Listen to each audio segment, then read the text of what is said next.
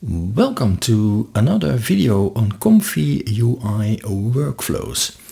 The IPA adapter is a wonderful tool and we can use it to greatly influence the styling of the generated images. Like we see over here, this golden ball clearly styled this robot dog and this fur purple fur ball clearly styled the coat of this lady. Let's have a look how this can be done. Here we have our default workflow again with an image generator at the first three blocks and then a switchable upscaler and face detailer. Um, the IPA adapter is a, a node that sits between the loader and the sampler. So what we can simply do is move these away a little bit and then insert, I already uh, prepared that, insert the IPA adapter stack over here and then everything is okay. What is included in this uh, IPA adapter stack? An image loader, then the IPA adapter itself, yeah, apparently, and it can be uh, very easily bypassed. Just click Ctrl B. It sits between the model out of the loader and the model in, uh, so it is rather easy to bypass it. And then uh, there's a node to prepare the image for clip vision. That is advised to use that. And then there are two nodes that load some models.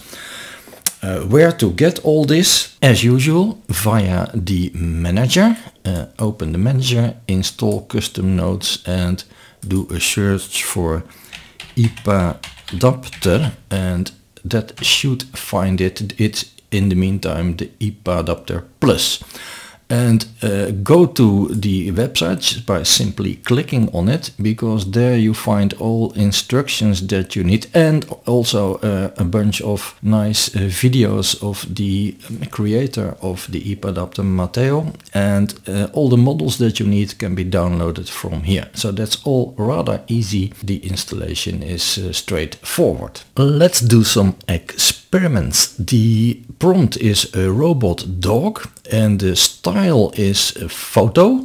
And we have loaded this gold ball as an input picture for the IPA adapter. But let's first start it with uh, the IPA adapter fully bypassed and see uh, what robot we get.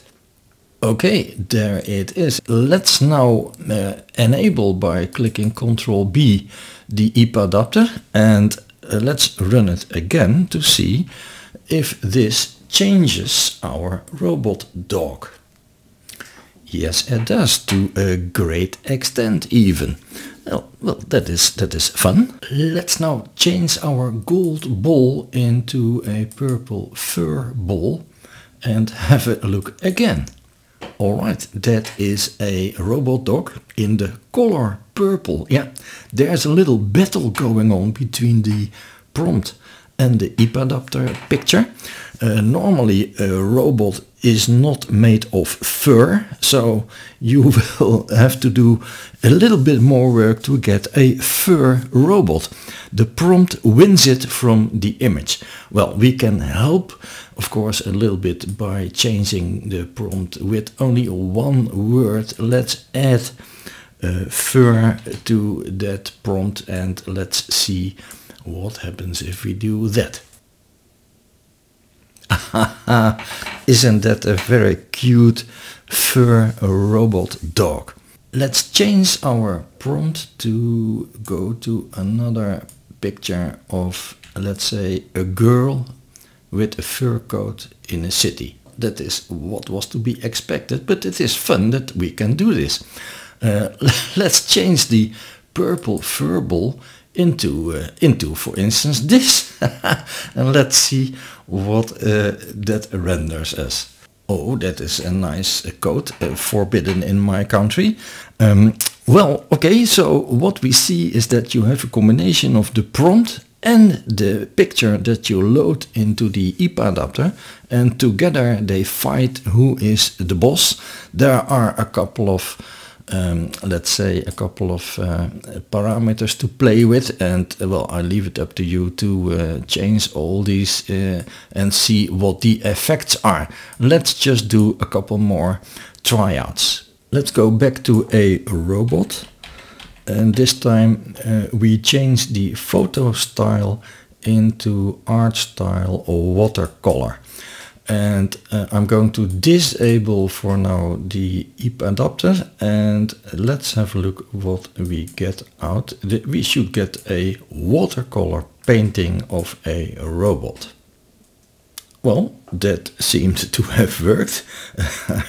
I'm not sure if it is the uh, ugliest robot in the world, but it is a robot.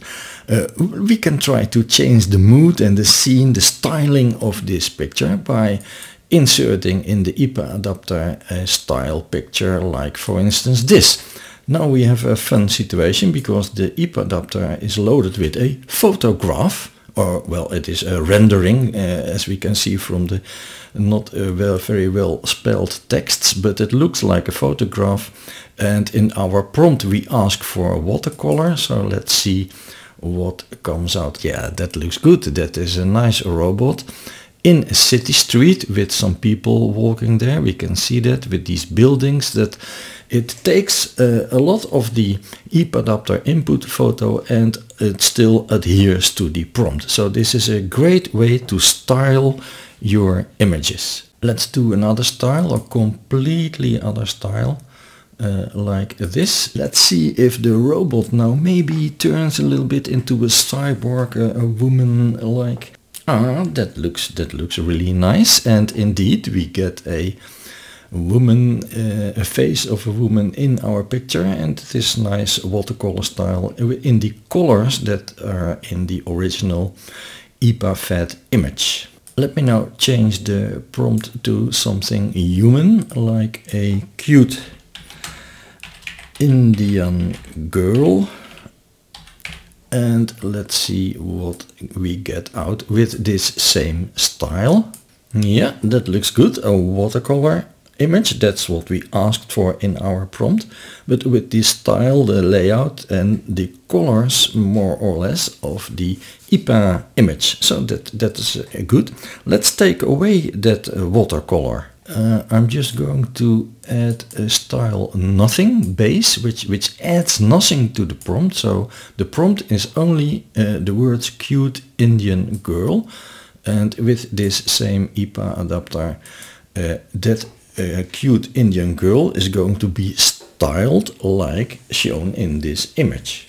Well, that seems to have worked well. It is has not become a photograph. It clearly is a painting and uh, well there's a little uh, city and the, the, colors are all exactly like the original image. So the great advantage of using this IPA adapter is that you can use a very small prompt, only uh, a couple of words and then uh, change the style. Let's do another style.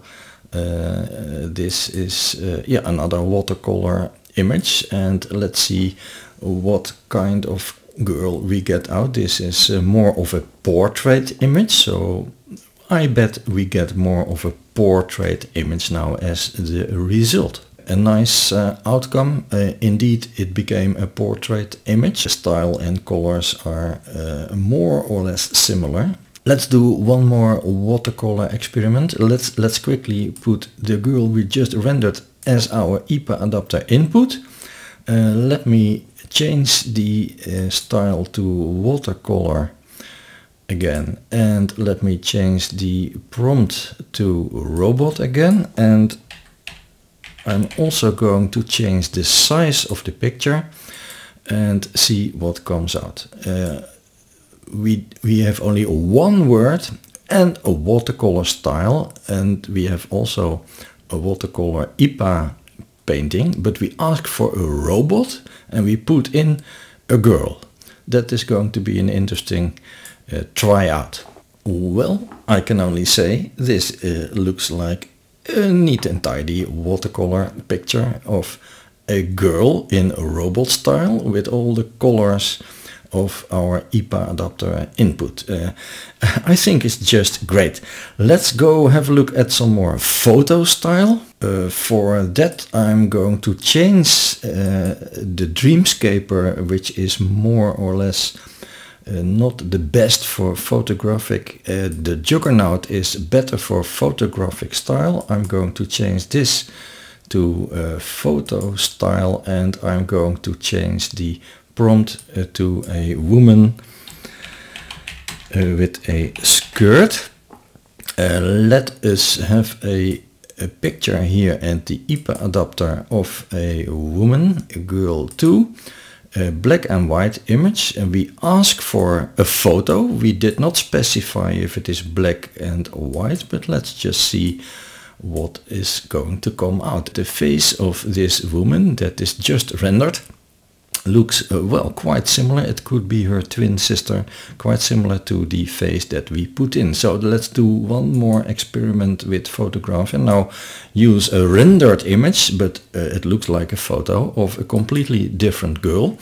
And look, let's have a look what comes out and now.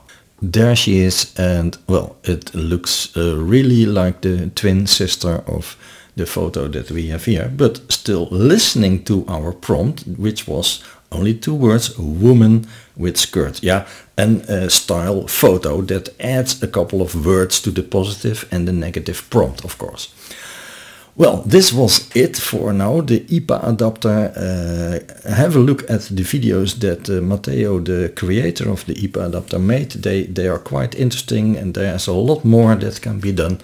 This was just a short introduction how you can change the style of your renderings.